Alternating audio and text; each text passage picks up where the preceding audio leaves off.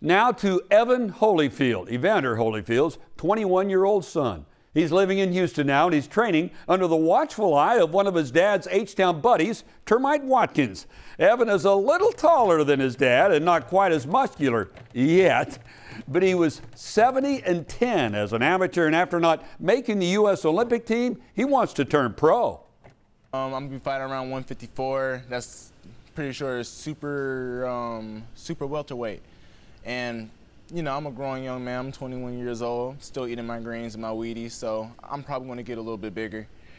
Um, can't really say where I'm going to stop at, but, you know, sky's the limit.